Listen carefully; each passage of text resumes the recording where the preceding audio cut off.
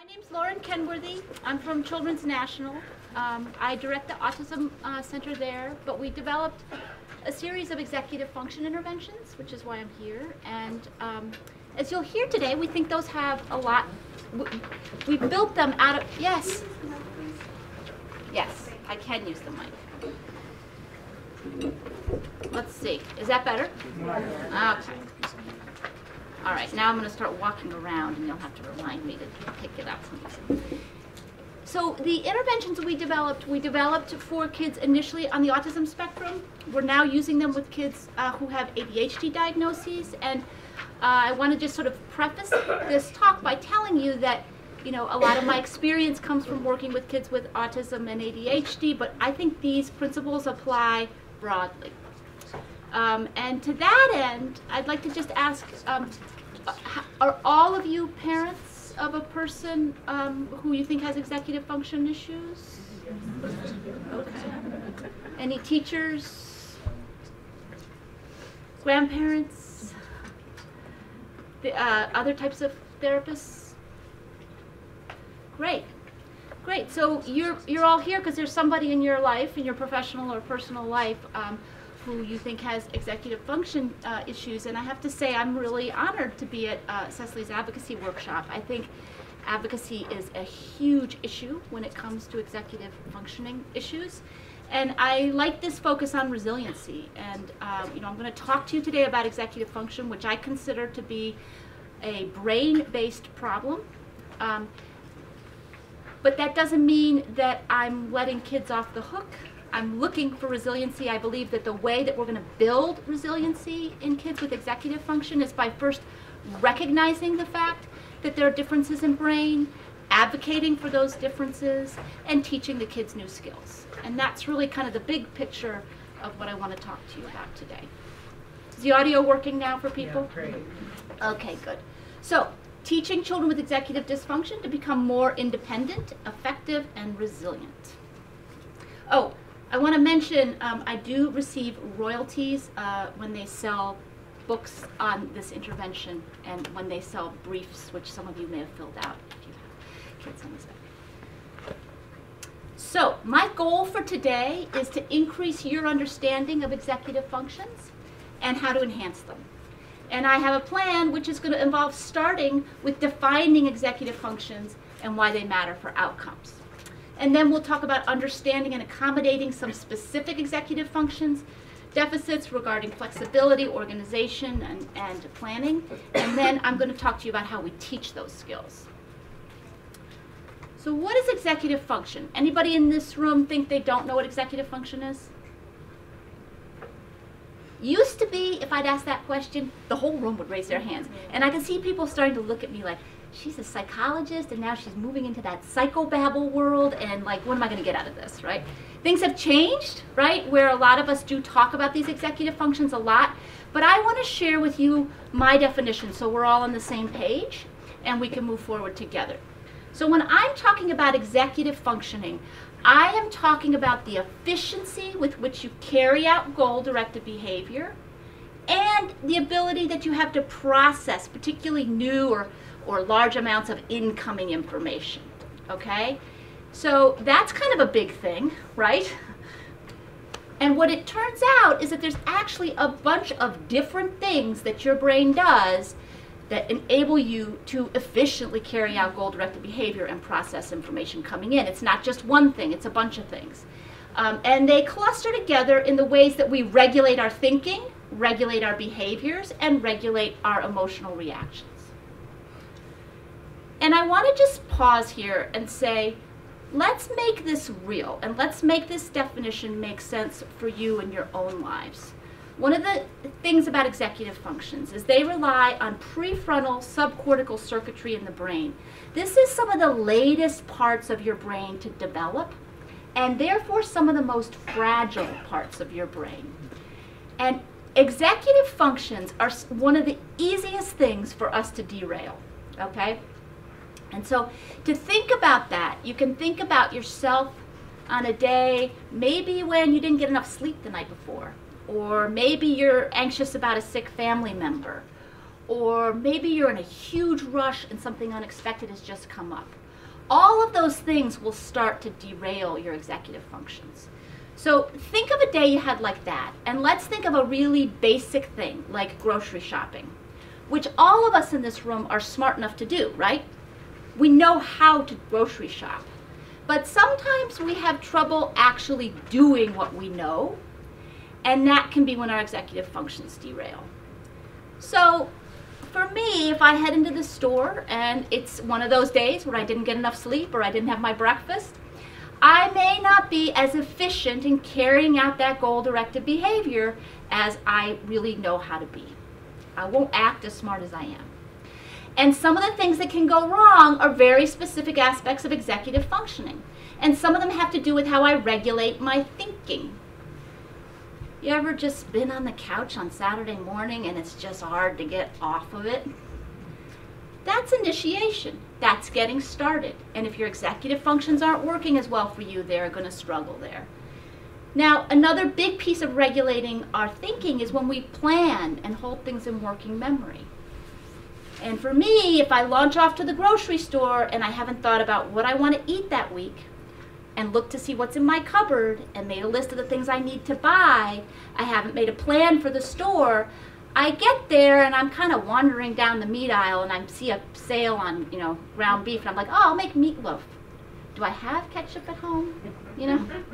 And then I'm kind of standing there thinking for a while and I'm not efficient in that task. The working memory piece comes in when you think about how you hold information in mind to keep track of where you are on a task okay? So working memory is not long-term memory. It's not the hard drive of your brain or the card catalog if you're old-fashioned like me. Um, this is the part, the front part of your brain that, that works with information, keeps the phone number in mind while you dial it, remembers what it is you've already put in the cart and what you need to put in the cart. Have you ever had that happen to you where you're like, wait a minute, did I do this yet? Right. So those working memory and planning pieces are essential to good cognitive organization, regulation skills, and executive function. And then there's this organization and integration.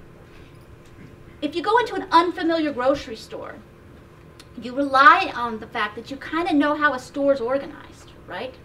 So you're going to head to the produce section and you're going to find it and it's going to be there and it's going to have all the produce you need. You're not going to say, I need to know where the carrots are, then walk halfway across the store looking for the peaches, right? You're using the underlying organization of that store to make you more efficient in what you do, right? So those are some of the ways that we have to organize our thinking to be effective with tasks. We also, though, have to regulate our behavior. Anybody ever shopped hungry?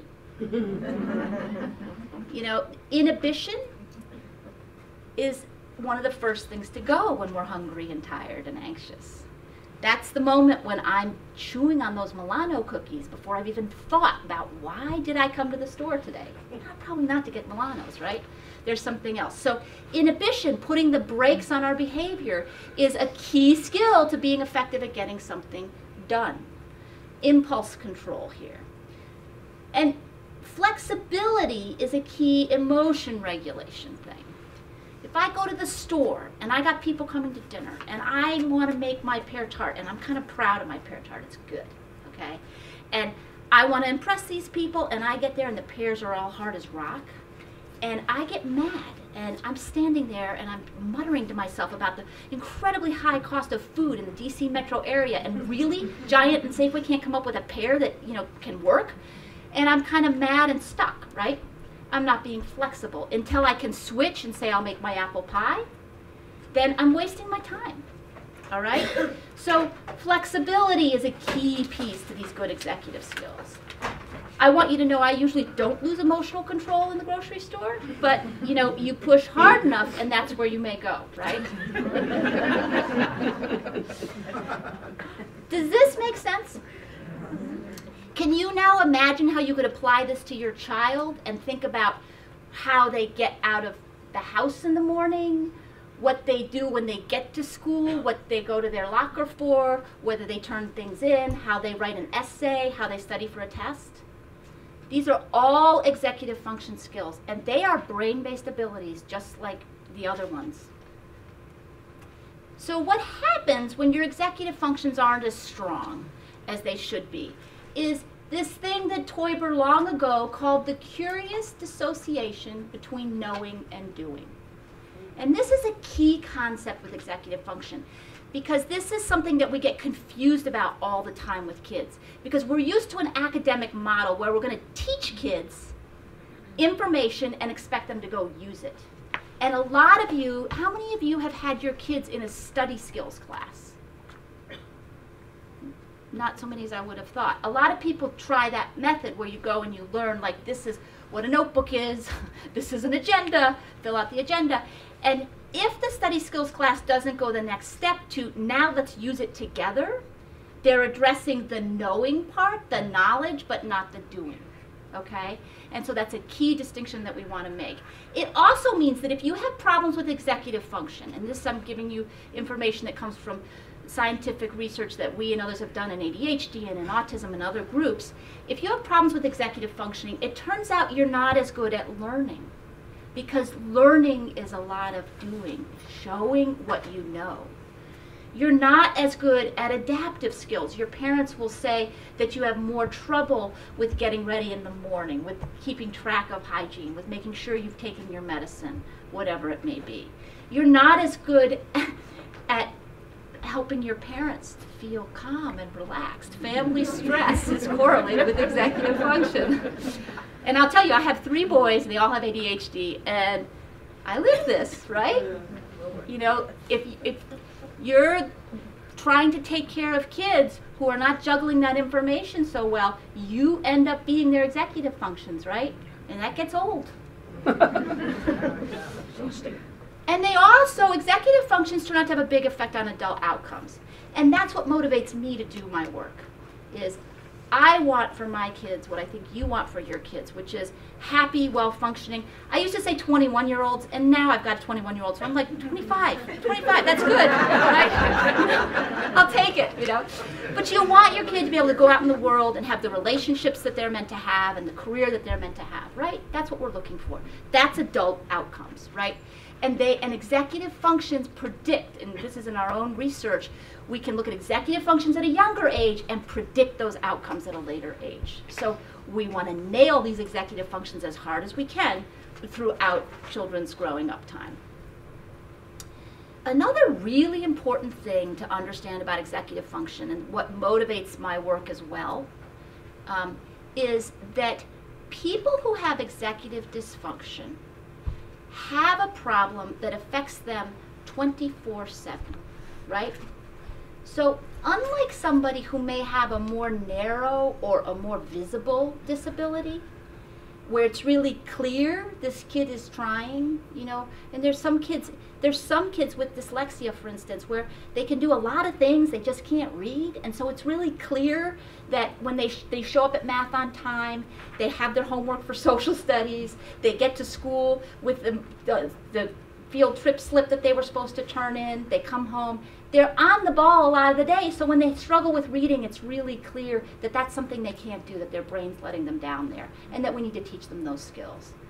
What happens with executive function is it affects you at every step of your day, and it makes it much easier for all of us, myself included, to get stuck in what I, an old teacher I had used to call attributions of moral turpitude.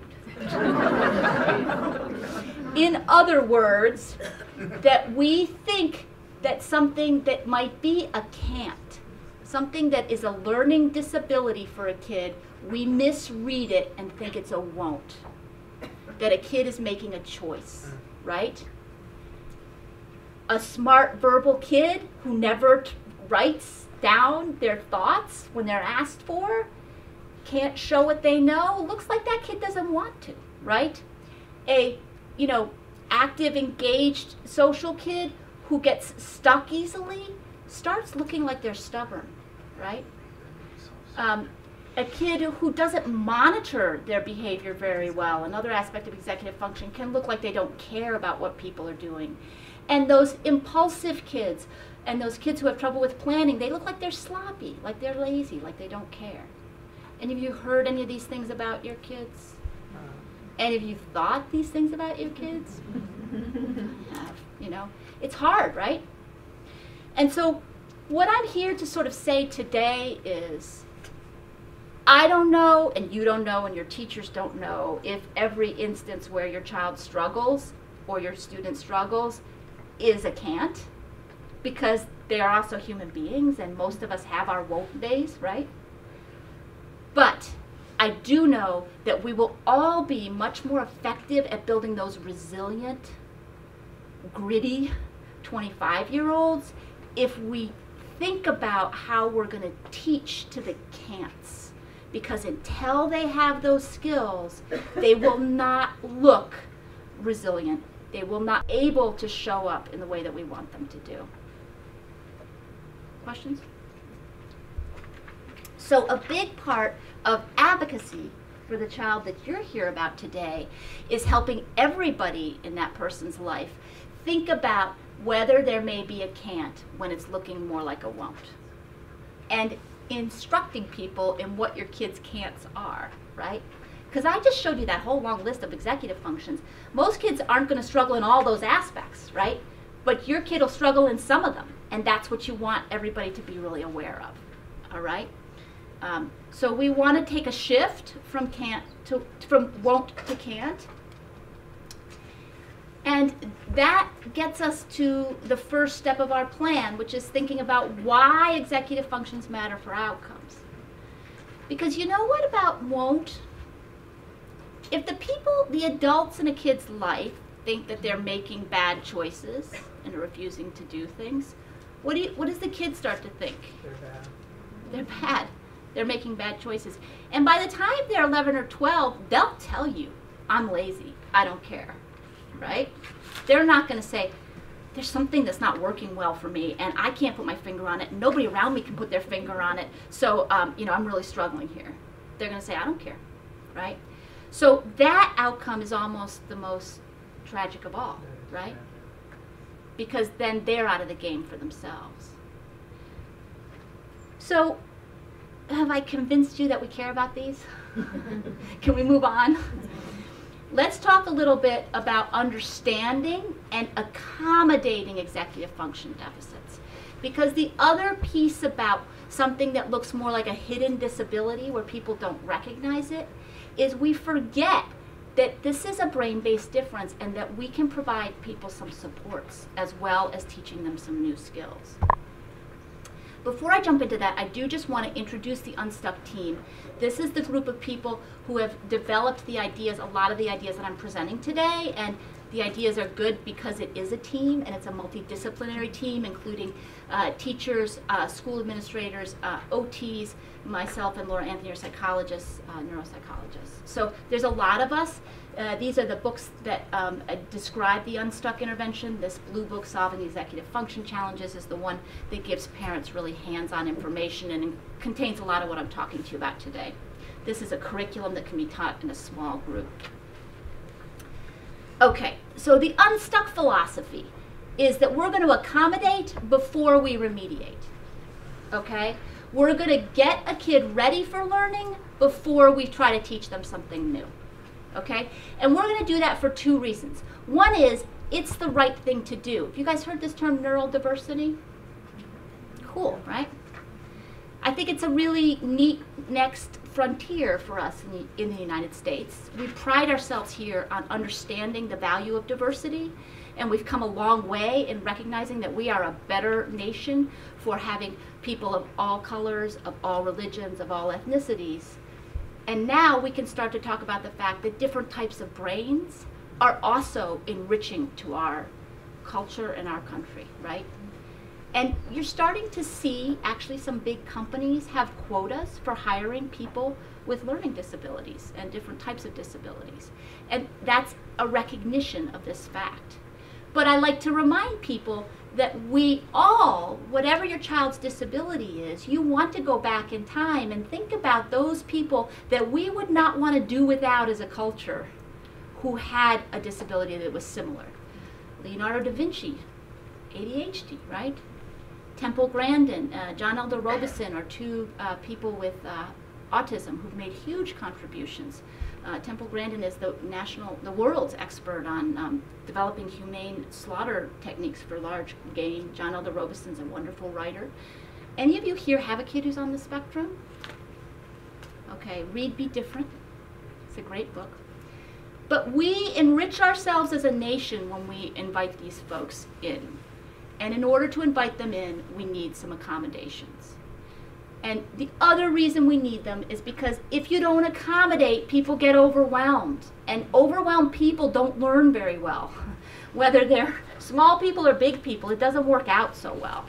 And so we need to provide basic accommodations so they're ready for learning. And the analogy that I, I think of here is if your child is in a wheelchair, nobody's going to bat an eyelash about the fact that there's got to be a ramp on the front of the school for your kid to get in, right? That's an obvious accommodation.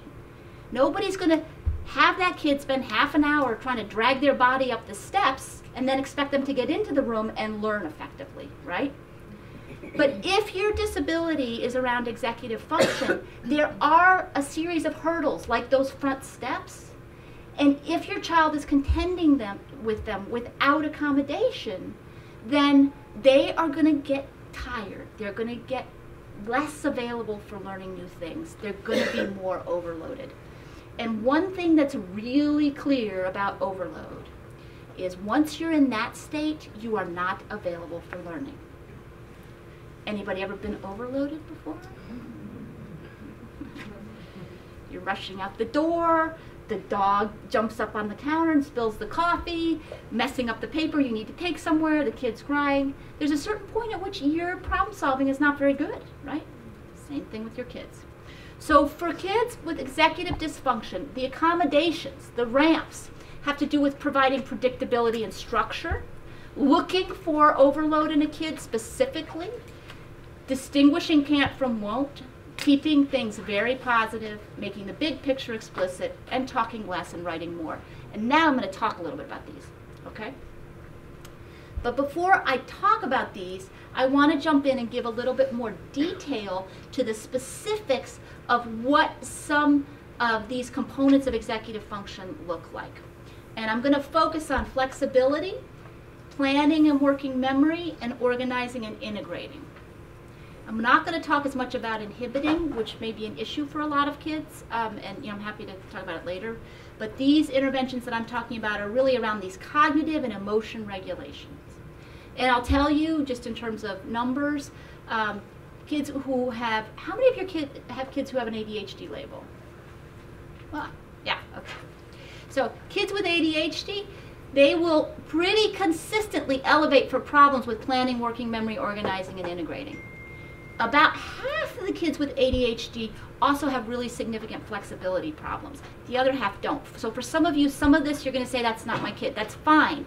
Take the pieces that work for you. I will say that uh, those kids with ADHD where the flexibility isn't treated, those outcomes are worse. This is something that you want to target directly if you see it in your child to learn about flexibility, you know, I'm a neuropsychologist and I could talk to you about a bunch of studies that have been done in ADHD and autism and reading disability, but instead I want you to hear it from the horse's mouth. And these three boys um, are boys who are at the Ivymount School, which is where we, uh, our lab school where we were partnered to develop these interventions. They all do have autism spectrum diagnoses, and they were kind of excited by the idea that they could make a movie that could be presented to people to talk about the experience that they have with their disability. And they're talking specifically here about flexibility. Let me turn it on. Do you think that that sums it up? Yeah. Um, Asperger's is also like um, it's also like having a kind of um, um, what do you call it? A clamp. A clamp. It's like having a, a clamp on your brain. Yeah, yeah, a vice. Yeah, and and and you know um, every um every situation you're unfamiliar with, every little change in the routine, you know, something that might upset you, gives you a quarter return on the clamp, you know, on the on the vice, you know, and it just makes you more pressure and more tight. Mm-hmm. So until you really have to let it all out. And sometimes it's just there's many ways of letting down, and sometimes you just pick the wrong one. Mm-hmm. What kinds of things make that vice tighten up? Um, you want me to take this one, Gabe? Go ahead. Oh, okay. You're the one who said vice thing, so go ahead. Yeah, okay. Um, a vice, you know, things that make the vice tighten up is, um, it's, um, A sudden change in plans? yeah, yeah, That's a um, good one. sudden change in plans, you know, something that, um, you didn't expect to happen, you know? For example, a flat tire on the car when you really want to get to a birthday party. Mm-hmm. and you know that that can mess up your whole day and you just um and that when that vice gets tighter you know it mess it kind of um keeps your whole day kind of um uneasy you know Yeah. So Gabe, he's describing it as a vice. How does it feel to you if something unexpected happens or if you have to be flexible? It just feels harder to go with how things are. I have an easier time at some things, but I have a hard time at uh, other things. Mm-hmm. That's basically how I can sum up Asperger's. Mm-hmm. And and so you guys, you feel like it's Asperger's that that creates this vice and makes it hard. So, um, what I think is important about what Peter was describing about having the experience of an inflexible brain in a world that expects flexibility is that he went to a description that, if you think about it, is basically medieval torture, mm. right? He says he's got a metal vice on his brain. And each time something unexpected happens, that vice gets a little bit tighter, right? Until his whole day is uneasy. And then he gets pushed over the edge and he lets it out the wrong way. How many of you have a kid where you can see this sometimes in them? A rising lack of mm-hmm. comfort, right? And so, if that's the situation for your child, they deserve some accommodations around flexibility. And that, I think, is where we want to start in terms of thinking if your child has cognitive inflexibility, what is that going to look like at school and at home? What are the things that are can'ts that might look like won'ts? And we're going to look for kids who have trouble accepting feedbacks, who have trouble with different opinions. And if you've got a kid who corrects people, really annoying, right? That can be a, an inflexible brain. People who don't handle frustration, start something, they have trouble starting something they don't want to do or stopping a meltdown, right? These are all flexibility related challenges. And if some of these look familiar to you, then you want to think about how are we going to help support this child in terms of accommodations. How many of you all have kids that are here at McLean? Yeah, so I'm preaching to the choir. You guys know that these accommodations are important, and that's why you're at a place like McLean that understands the value of these, right? But just in case you were wondering about those tuition dollars and was it the right thing to do? Yes, right? Because one of the things that you're getting is people understanding what accommodations need to be provided. So if a person has trouble with violations of expectations, they need to know when things are going to happen, routines, schedules. That's going to predicting in five minutes something else will happen in two minutes something else will happen those are small wheelchair ramps that will help the inflexible brain navigate their day better they need very clear rules. A lot of them will get into overwhelming intense feelings and downtime will be a really important phenomenon for them. And we'll talk more about some of these later but i want you to note one thing. One of the key accommodations for each of these risks that comes with having an inflexible brain in a school or home setting is what? The worst situations I see are when the kid is inflexible and the adult is inflexible, right? it takes two to tango, and we, we can talk more about that in a little bit too. Um, I'm going to go on now and talk about. Um, so, when we talk about accommodations, we're talking about needing predictability and structure. Now, let's talk about organization and integrating information and what that looks like when that's a challenge. And to do this, I am going to show you one of our neuropsych tasks. As a neuropsychologist, I want you to have a little pity for me because what happens to me is you see your child or your student in the real world, in large groups of people or at home where things aren't so predictable and always the same. You bring them into my office, which is very quiet and predictable, and there's one adult and the kid, right? And you say, figure out what's going on, right? so one of the things about executive function is you need it when something is new, when something's unfamiliar, when there's a lot of it, right? All the kind of situations that tend to be structured out of those assessments. So you can have a psychological assessment and look perfect, right? But you're still having trouble out there in the real world. So we try to come up with things to recreate some of the demands of the real world. And one of the things we do is we ask kids to copy this figure. And we ask them to copy this figure because it's a lot of information. They haven't seen it before, so it's new and it's unfamiliar. And they have to integrate it.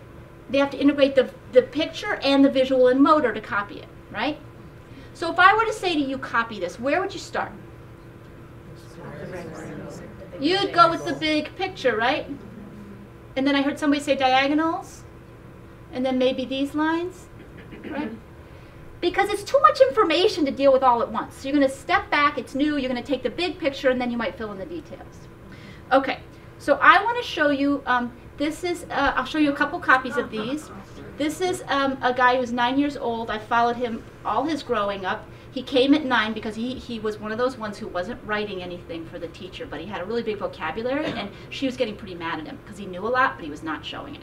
So he came in at nine. As you can see, he didn't have good motor control. He's now 24 and going off to grad school in math. Um, but he did a pretty good job copying it, don't you think? Yeah, he's got all the pieces. Now, remember executive functions not knowing but doing? Let's talk about how he did it. Okay? That's what the colors are for. What color do you think he started with? Red. Red. Nope. Nope. Black. Nope. Green. Up here. Down here. Then, the next thing he did was he drew this blue triangle. You see that? Okay. Did you even think of this as a separate part of this figure? No. No. And you didn't think of this as three lines, did you? Or this as three separate lines? No. So he worked really hard to make that picture. He worked way harder than you just did, right? And he got it, and that's great. But then I took it away and I said, draw what you remember. Okay? This is what a kid has to do every day in school. They have to learn a new concept, they have to absorb it and understand it, and then they have to show that they remember it the next day, right? And if you have these organization integration problems, it's harder to do that, okay? And it's not because this guy or your child has a bad memory. Very rare for a kid to have trouble with that hard drive. The back of your brain is usually working pretty well. It's how you're organizing the information in the first place. If you had copied it this way, you wouldn't remember much either, right? Too many moving parts. Here's an example of a kid who has uh, attention deficit hyperactivity disorder. You can see he took kind of a, a what is both a smart and a telling approach, which is huh, a lot of complicated information. I'm just going to trace around the outside real quick here with this green marker, right? And make you know some X's, and I'm not integrating those pieces at all. I'm not even getting that this triangle is actually part of those diagonals. So same thing when we take it away, there's not much there. Also a kid with perfectly good intelligence, right? So that organizing and integrating is huge. And a piece of the organizing that we talk a lot about is organizing stuff, which is important. How much time do we spend in our house looking for things? It's a lot. Parent stress, that's a big issue, right? But there's also organizing and integrating ideas. And that is really important too. And in some ways, in the end, that's the thing you're going to want to think the hardest about. Because if your child is smart and savvy enough, maybe at some point they'll get a secretary to help with the things.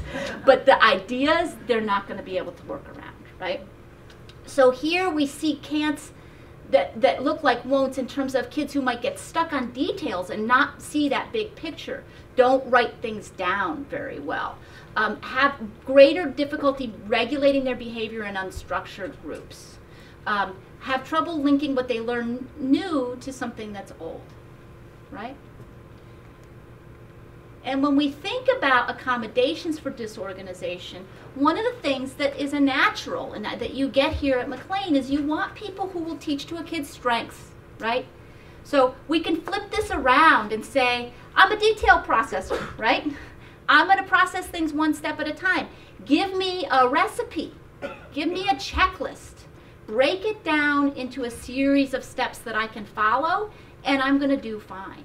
And I'm going to look like a competent learner, whereas I don't if you say, let's just talk about the big picture here, right? Which can happen in a lot of discussion formats, right? So, and help me when I have to draw an inference from what I read or a nuance from a social situation, help me to, to see that big picture. Recognize that as the group gets bigger, it's going to be harder for me. And test me with structured formats that give me rubrics so that I'm not reaching into the atmosphere. And if you guys have a kid who, if you say, How was your day? they can't really answer it. Mm-hmm. But if you say, Well, what happened at lunch? You're narrowing in for them, they may do better. Or what'd you have for lunch? Let's start there, right? Who'd you play with? They've got that information, but they can't reach in to that big picture world and pull out what you're looking for. So think about this with your kid. When they're not responding, can I break it down? Can I make it more of a multiple choice question, more of a rule, more of a routine? And you'll be able to do an experiment with your own sample size of one, your own kid, right? To say, you know, if I say go clean up your room, he doesn't do it. Is it that he doesn't want to do it or that he can't do it? Well, what if you make a list, a checklist with him of steps to follow, right? And you set it up in such a way that he can kind of check it as he goes and he's got a visual support. If he can do it then, then you know you're talking about a kid who needed an accommodation, right? You learn from your experiments in supporting your kids. So another piece about this organization um, uh, accommodation is, of course, breaking things down. Sometimes it's easier if you break the work up into little chunks, and you can see this is not what we mean by that. Sometimes um, it, you can break a social problem down into chunks and flow charts. Whiteboards and flow charts are huge for kids who have trouble with the big picture because you take something that happens really fast. He's grabbed a book from, from John and he's gotten um, a timeout and it's gone by like that, and you break it down into the steps. John had the book, you hit him, you took the book, you missed the timeout. Was that what you wanted? And a kid can walk through those steps and see, no, not really. Well, let's do it the way it might have worked better. What if you'd asked him for a turn? You could look at the book, you'd give it back, you'd get your TV time. Would that work out better for you? So again, breaking down things that go by really fast into component pieces. This is a simple one. Uh, does anybody watch The Big Bang Theory? Sheldon has a flowchart like this for dating. I don't know if you saw it, but it's like huge, right? But again, you can think about when there's a social demand that's overwhelming your kid or an academic demand, can we break it out, and if your kid's a visual learner, into a visual flowchart like this, into a way that they can uh, digest it piece by piece. Okay, so we're making the big picture explicit. That's that accommodation. Let's talk about working memory and planning. I'm going to pick up the pace here because we're supposed to stop at 12:30. 12:30? Yeah. Okay. Um, this is another one of our neuropsychological tasks. We have to figure out if your kid is good at planning multiple steps in our little quiet lab or office.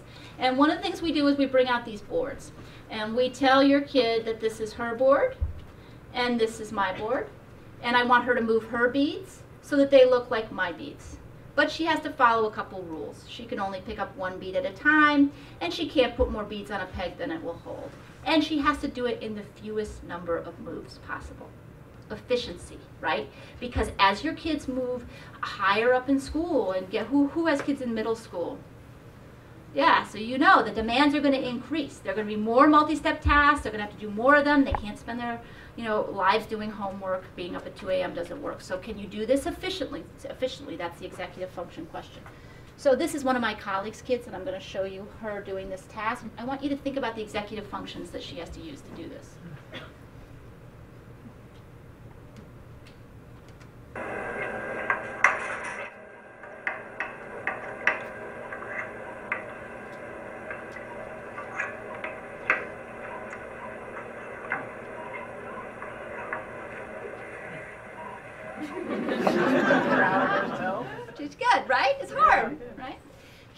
herself. So, what do you think about executive functions? What did you What do you think she used there? Any? Her, her working memory, retaining those steps, doing it, and keeping everything working as she wor- as she completed the goal. Bingo. Huge working memory demand, right? Working memory. Anything else? Frustration. Frustration tolerance. That flexibility piece, because you can't go right to the first place you want to go. Absolutely. Flexibility. Forward planning. planning because it's multiple steps she's got to think how do i get to that final step right impulse control she can't just move this red bead over first like a lot of people want to who are sort of impulsive because I've got to get it there right so this is a lot of executive functions that come into play okay and all of them can affect her success and um, i think you stole my thunder a little bit with the working memory but that's good. Because a lot of people call this a planning task but kind of forget about that component. We've done some research that shows that if we uh, take away a typical person's working memory abilities, um, that we can make them perform as badly as a kid who has an autism spectrum disorder on this task. And I think the same would be for ADHD, right? So the, I'm not going to go through the details of this, but you have to be able to talk your way through a task like this to have it make sense, okay? How many of you have kids who, if you give them a three step command, it's 50 50 that that'll actually happen on a good day, right? And how many of you have tried writing down on a whiteboard or a piece of paper what you're asking them to do? And do you get a better result? Some of you are nodding and some of you are not so sure. If you get a better result, you probably have working memory that's undermining your kid's ability to do a key thing, which is independently carry out a behavior, right? You want your kid to launch successfully to college or high school, or they've got to be able to independently do what the teacher asked. You want to stop following your kid around and do that stressful frontal lobe thing. They've got to take your words, internalize them, and use them to guide their own behavior. And if they have working memory problems, they can't do that if you don't write it down. So if you're not sure about that one, keep experimenting because that's a key one to answer and a key one to help people at school and other places think about too. Right?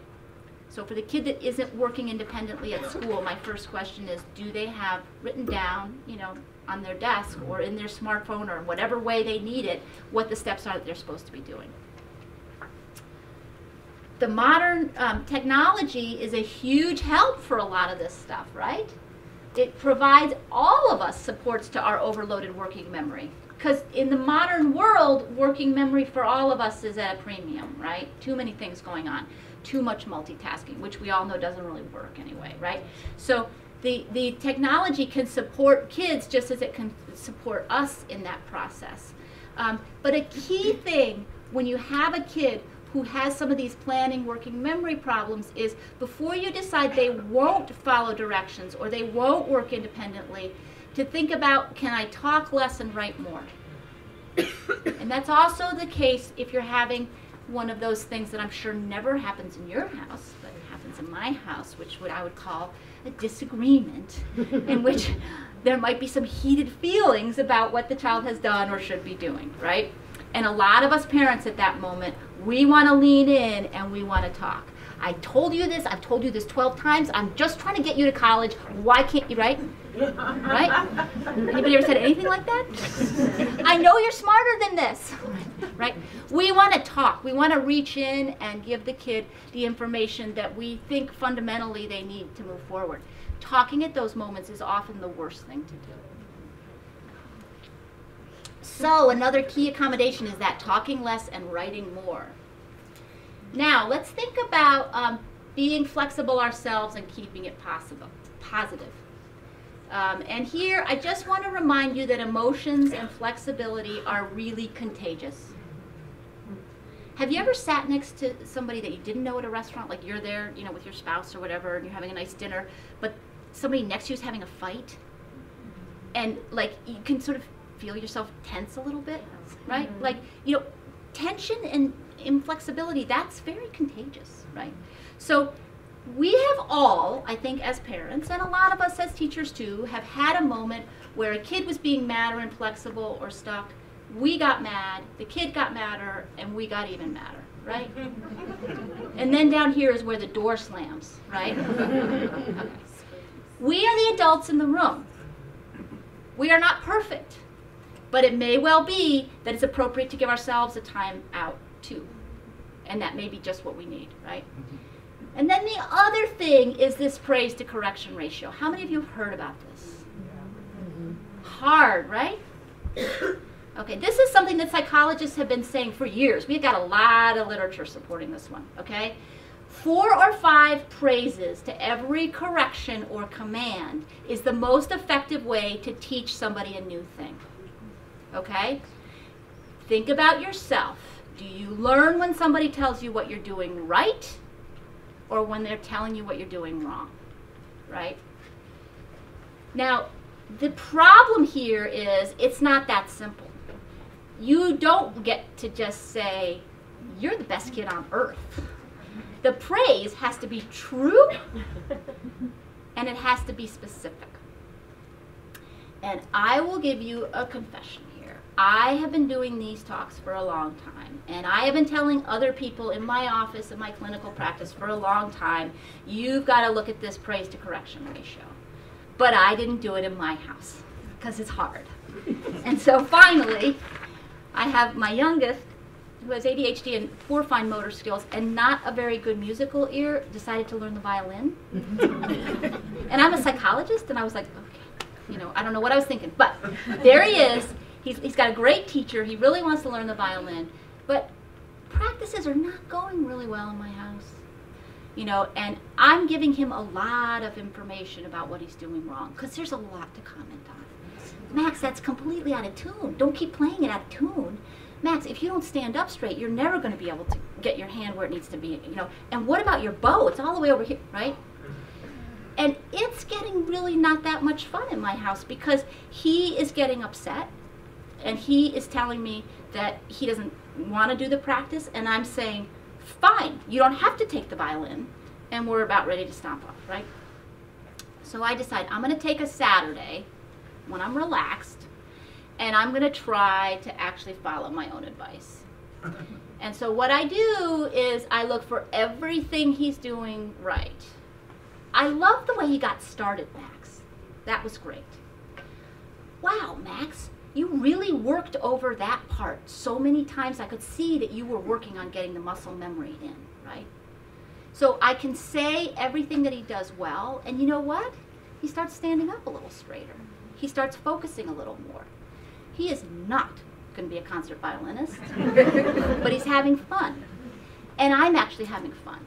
And so the thing is moving forward in a different way. And I just give you that story because I think it's important to say that a lot of this stuff is much easier said than done. And you know, uh, I know teachers who will do things where they'll mark on one hand the praises and on the other the corrections to try to get the balance right. You know, it's something that you have to really work at. But this is the most powerful accommodation you can use. If you want that 25 year old to go out in the world and be resilient and well functioning, this is the biggest thing that you can do. And it also works on your spouse and your mother in law. so, in that, in that case, you didn't have a correction for the violin. You're talking about generally just try to do four to one. Or are you saying with each kind of new task or, or um, the ratios overall got to come out there? Okay. So, yeah, so, So you I did sneak in a couple. Max, can we just work on the, the intonation in that okay, part? right. Right? So, but I could only do one of those Right. For every four to five of the other. Okay. Now, other global accommodation I just want to talk about is overload. Okay? This is when anybody, parent, child, therapist, teacher, are completely overwhelmed. Okay? And when we get overloaded, different people show it different ways. Some of us look more anxious, some of us get more impulsive, some of us actually kind of melt down. How many of you have kids that you think melt down? Okay, so this is for you. All right? So, what happens when a kid goes into a meltdown is that they move from being in a state of relative calm, which is where they are teachable over here, to often to a stage where you get some rumbling. This is Peter as his day is getting uneasy, right?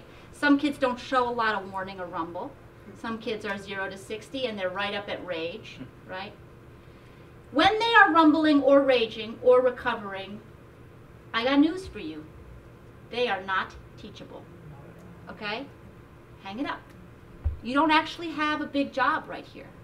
Most of us think at this point we're supposed to intervene as the adult and help things go better, and there's really not much you can do. You need to make sure your kid is safe and the people around him are safe.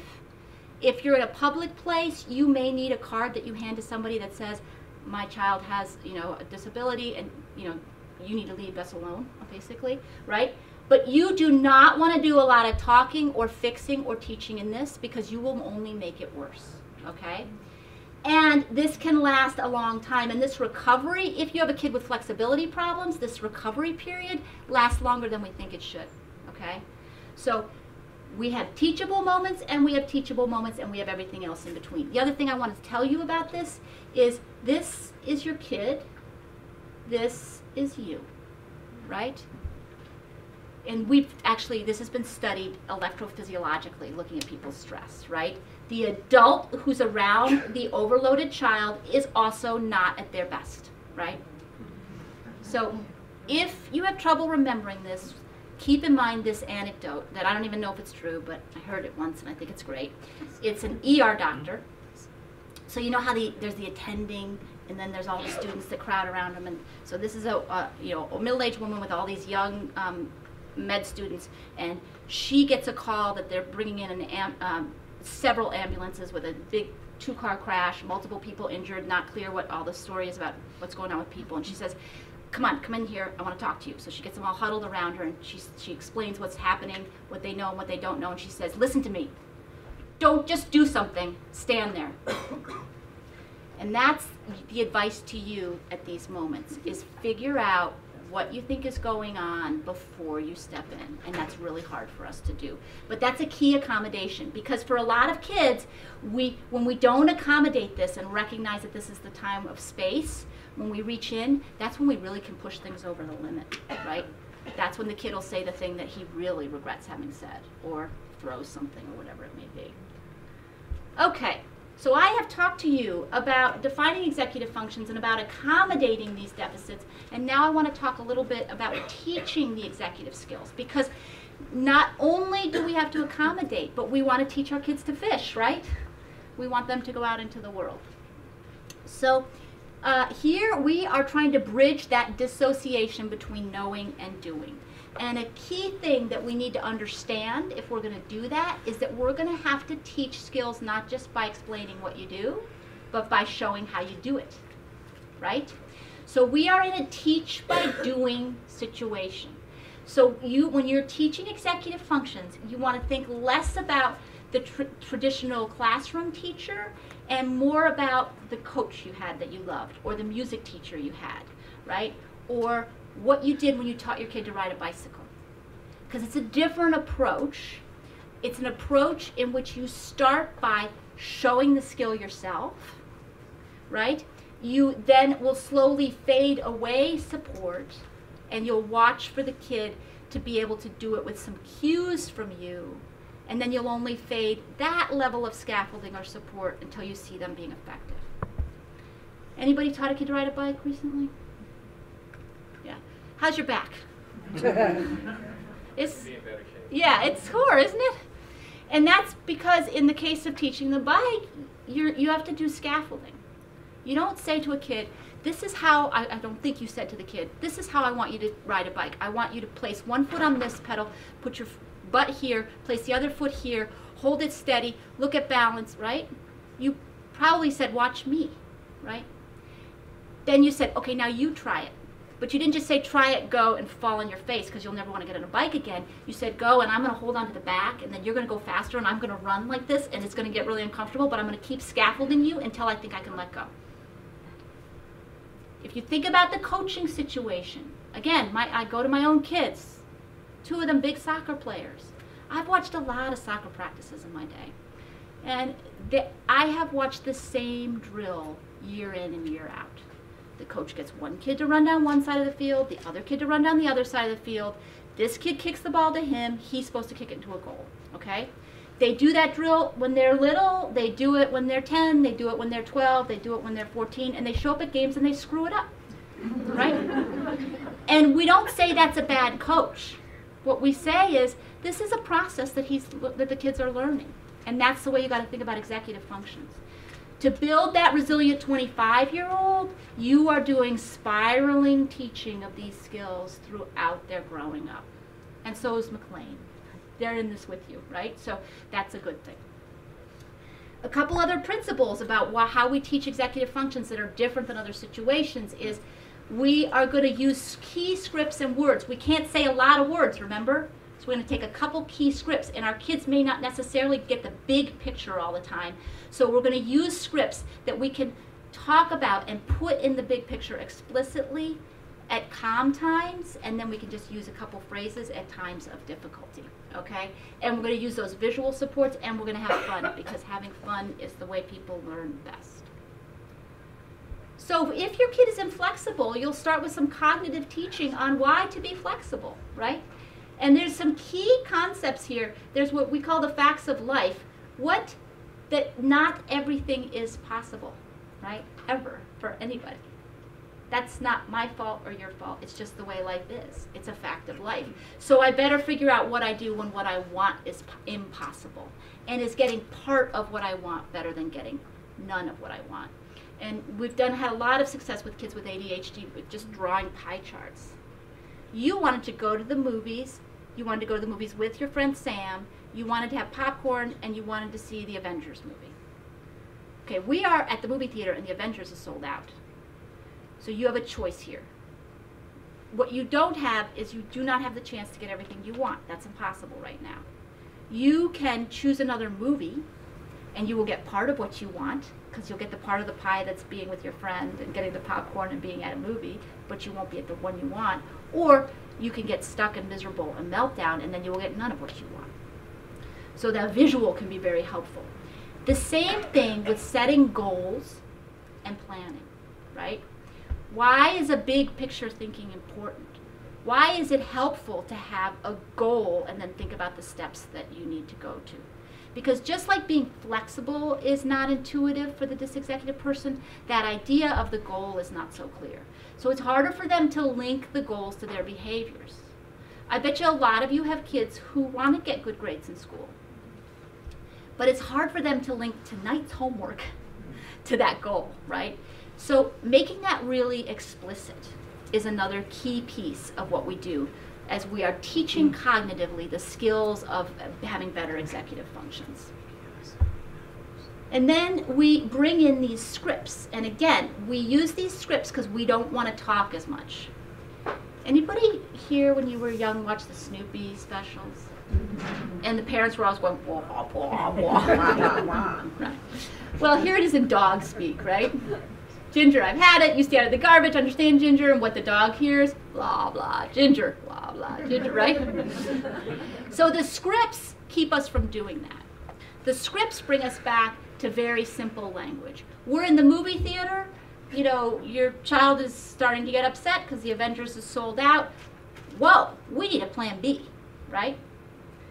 For a lot of kids, the script of plan A, plan B is really powerful because what they don't realize is all of us use plan Bs all the time. Mm-hmm. Nobody's plan A ever goes the way they expect it to. I can expect to need a plan B. And you know, I've watched kids learn these scripts in our Unstuck programs, and what I see is there's this sort of giddiness that comes over them. And they'll say, I have a plan G. Well, I have a plan W, right? It's like this idea that you can have multiple plans and still get to where you want. You freed them up, right? And so just bringing that into your own house, right? And believe me, you, you will have plenty of examples. Just hit the beltway, and you already probably need a plan B, right? And you probably also may feel a little stuck and want some help getting unstuck, right?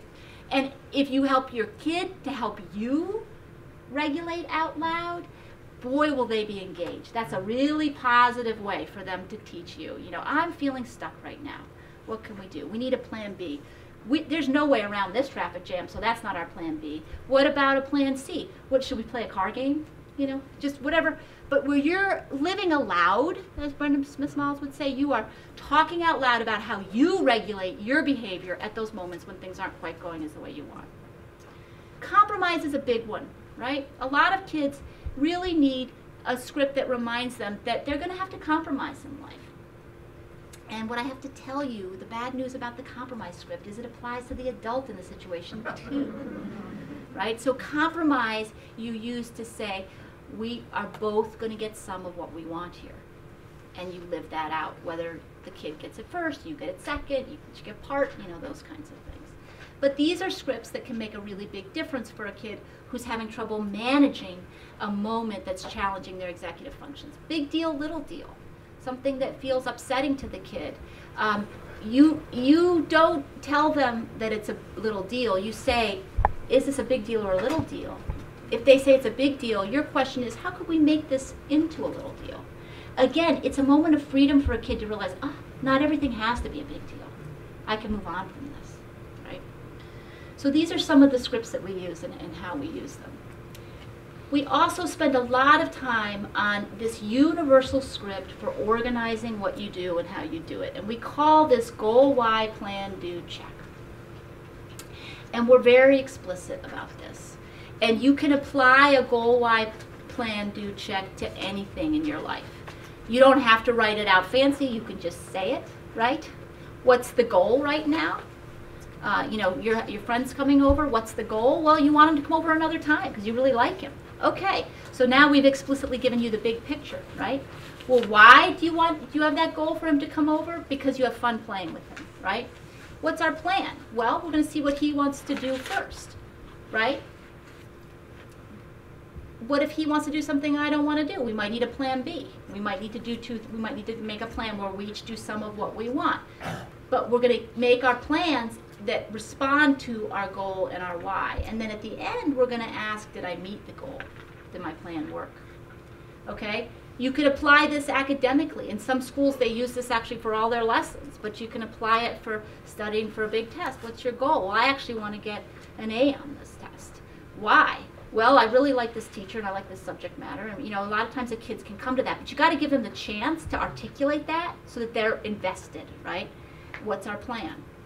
Goal, why, plan, do, check. You can just apply as you're walking down the street. You know, my goal is for us to get home in time to go to the movies before grandma comes over. So my plan is that we're not going to stop for lunch. We're just going to run in and grab something, right? So that they can see that you do this too. So those are some of the kind of core teaching and components of how we teach the executive functions. We developed Unstuck and on Target for elementary school age kids, the three to, to third to fifth graders. But now what we're doing is spiraling it upward because remember what I said, we're going to keep teaching this. So on Target for Life, we use these same principles with middle school kids. Um, but we've in, we've uh, shifted things a little bit. We still are using scripts and vocabulary, but we're trying to engage now with the kids' primary motivators. And a lot of kids, by the time they're in middle school, they want some power and control in their lives, right? And if we're not addressing that, then why are they going to learn this new thing? It's not easy to learn flexibility or organization or planning, right? Anybody tried to like go on a diet recently? It's hard, right? You got to know why you're doing it and it's got to be something that matters to them. So we think about like things like helping kids think about how do I increase power in my own life, right? What, how am I going to get to what I want? Um, what keeping my eyes on the prize becomes a way to talk about keeping that goal or that big picture thing in, in mind. Um, for the middle school kids, we talk about flexibility and that big picture thinking, the goal, why, plan, check, plus being respectful and thinking about others, we talk about this as an equation. That will add up to more choices. They can reach their goals. They can reach their, get the rewards they want in life. And now we've also spiraled it up to high school with flexible futures. Preparing kids for college is really what the purpose of this is. And again, we're using a lot of the same concepts. We're, we're talking about um, being flexible and having big picture thinking as opposed to getting stuck on a detail or um, losing sight of the big picture. Um, but we're doing it in terms of kind of a, a, an equation for them that talks about ways they can lose power in their world or ways they can boost their power. and ways that their eye, eyes come off their own prizes versus ways that they stay on. With the high school students, we try to think about big picture ways to think about um, how they're going to manage their time because that's a big issue for people with executive problems. So anybody here have a kid you're paying tuition for in college? I do, and this graph freaked me out because this is comes from the federal government. Somebody's done some estimate of how the average college student spends their time.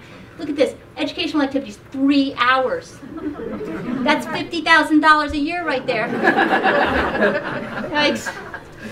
But we show kids, this is what, you know, a, a, a, a typical kid in college, this is the way they have to think big picture about their day and divide up their time and manage their time. Again, a key organizational skill. And then we have them make their own pies. And then they show each other their pies. And they are often most influential with each other about what it looks like. So a kid will bring in a pie. This is how I spent my week. And then we can ask, is that a danger pie or a balanced pie? What do you think on this one? Danger. Yeah. What are you worried about? Overworking. And the sleep? Lack of sleep. Right. Some kids come in and their pie is like 90% playing a video game. Mm-hmm. And I watched this happen just recently in one of our groups, and the other kids were like, Sam, not his real name, that, what's that about? and he was embarrassed in a way that his parents could have never gotten across to him. Believe you me, they had had the discussion, right? so this idea of kind of making it visual, putting the big picture out there on a piece of paper is a really powerful one for helping a kid think about what am I trying to do with my life? What are my goals? How do I get more power? How do I get more independence? How do I go where I'm headed? We, we do the plan, um, plan B and the check a little bit differently there, but we keep this as a universal script in all of our interventions. Um, so I just want to, I'm ju- just winding up, but I just want to just show you one piece of data to bring the sort of circle back to say that the, when we teach executive functions in this explicit way, when we're able to partner with teachers, which we do the trainings at school, and with parents who do the, the work at home, we really do see a difference in some of the core skills that I think you're looking for for your kids. This comes from a randomized controlled trial, so we randomly assigned kids to two different things. One was the unstuck intervention based on the principles I'm telling you about. The other was Jed Baker's social skills intervention because these kids were on the autism spectrum. We're now running this trial with ADHD, but we don't have that data yet. I'll talk to you about that next year. But, um, but in this case, we compared two interventions. The kids, parents, teachers got exactly the same amount of training and attention, so it was matched for dose, as we say in the business. And we did blinded classroom observations. So one of our research assistants just sat in the back of the class and coded kids for what they did. And they coded how much they followed the rules, how easily they made transitions, how much of the time they were negative, and how well they participated. And what we saw was on this y-axis improvement. And the good thing is all the kids, whatever intervention they were in, improved. And they should. People were spending a lot of time and working on skills. But you see these dramatically bigger uh, improvements around being able to follow rules. This is working independently, right? Around being able to participate effectively, staying positive, making transitions in the kids who had this executive function training. So, you know, 60% improvement, 40% improvement. So I just show that to you as one example to say we are interested in the evidence behind this. And you always want to ask that question before you put your time into these kind of interventions. And so far it's looking good. We're in the middle, as I said, of a much larger trial with kids with ADHD as well, and we'll tell you what we find out about that when we do. We obviously are not the only game in town. There's some other really good um, uh, books out there on executive function. Uh, Dawson and Guare have Smart but Scattered. Uh, Cooper Kahn and Dietzel, Late Lost but Unprepared. These are great books, and um, I recommend them. And I think that's where I stop. So I can leave that, actually, do you want me to leave that one up? So you can see it. Um, oh, I didn't leave time for questions. I'm happy to answer questions. Yes. Um, if the school wants them to be, I can share them with them, absolutely. Yes.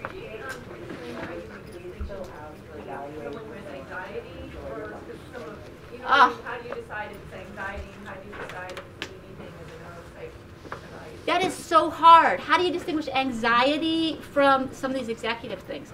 Let me tell you, working memory and anxiety, they live in a little circular, um, nasty nest, right? Like, just think about yourself. Remember directions when you're late to a job interview? You can't, right? You know, so it's very difficult. I do have specific ways that I look for that. And um, one of them is I want to know how anxious the kid is generally. And another is, again, I want to know if the working memory issues have predated the presence of the anxiety. But in general, I don't really care.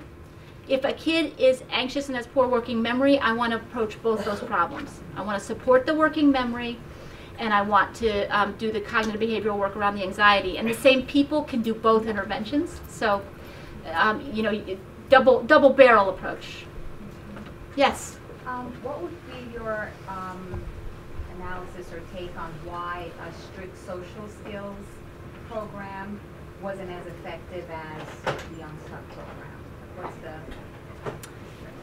because we were explicitly teaching those executive skills and those are very supportive actually to a lot of social skills. You need a lot of executive skills to be successful socially. It's why a lot of kids with ADHD have some social problems. Um, you know, if you're melting down in the classroom, people don't necessarily want to be your friends, you know. Um, if you don't see the big picture, the playground is a really complicated place to be. So I think, you know, I don't minimize the importance of social skills intervention, but I think this adds something unique, and in this case was really effective. Yes, in the back. What's, You. what's the relationship between uh, executive function and autism spectrum and ADHD? Like, how do those things interact with each other? Yeah, good question. So, executive function is a cognitive um, disability. ADHD and autism are behavioral diagnoses. So, it's not that if your kid has organization and planning problems and ADHD, they don't have two things. They have one thing that's being described by behaviors, loses stuff, right? Spacey, and then being described the same thing by cognition, isn't organizing or integrating information. From my perspective as a neuropsychologist, you have behaviors. They're kind of the final downstream effect. They're what we see and react to. But behind those are the cognitive issues that make it hard, right? I see you can't read, but you can't read because you don't have phonological ability to decode. And behind those is a different brain. And these are all neurogenetic disorders. So we know it's starting with brain, changing cognition, which affects behaviors. The reason I like to talk about the cognition is I like to take a step back from behaviors because I feel like it gives us all more power. We, we're not as reactive, we're more able to think preventatively. Is that, yes? I'm wondering, what do you do when your child is older and all of these things haven't been addressed? How old? 18. Okay, so you got an 18 year old. It is not too late.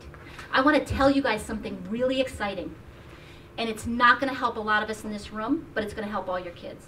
Executive functions are the latest developing skill, uh, uh, set of, they're supported by the latest developing neural components in the brain.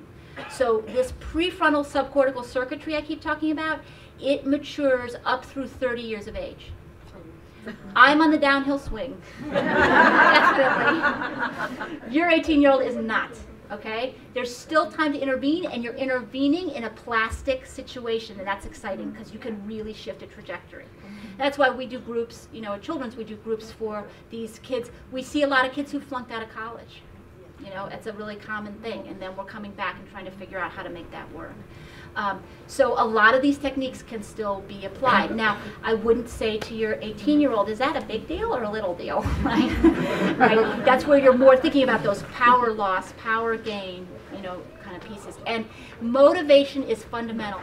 If you've got an 18-year-old, go um, Google Daniel Pink on the on the um, internet, and you'll get this great little thing on motivation that I showed my 18-year-old with ADHD recently uh, where he's talking through what motivates us. And you, you've got to start at that point, not at that video, but at that point of motivation with somebody of that age, because they've had too many failure experiences. Yes? So uh, this probably depends on how dysfunctional, I guess, so the executive dysfunction is, but is there hope for just like beating this and like eventually you've used enough strategies and like things aren't as difficult for you? Or is it always just kind of something you're going to carry with you that So is there hope for beating this if we get enough strategies? Are we gonna? I mean, yeah, Yeah. get- I mean, I understand because you're Yeah. creating, you're saying it's elastics or, you're, or plastics. You're creating kind of. So there these- definitely changes, and because I've been in this field for a while clinically, I have these great moments where kids come back and it's like, "Wow, you're so much better." There's also moments where you look worse, because as your executive skills increase, what we expect of you increases, and when that's out of sync, like the 18-year-old, if he's headed into college, he's about to hit a huge new demand, right? Generally, leaving secondary school is a big increase. So that's one thing is that there's plateaus and there's moving forward and they may not always be in sync. The other thing that I'd say to you is when I think about this, I think about um, an analogy where I see kids running a racetrack. And if you have intact executive functions, you're just running the track normally. If you've got executive dysfunction, you're running the track, but there's a hurdle every couple yards. So you're jumping hurdles. You're getting tired. You have to do more. Mm-hmm. What we what these techniques are doing are building your muscles, right? We're building strategies and routines to work around. You will always need some of those. But if you've got thighs like forever, you're keeping up with the kids that are running the track. Who cares? You actually can come out with it with much better self-knowledge than a lot of kids who don't go through this process.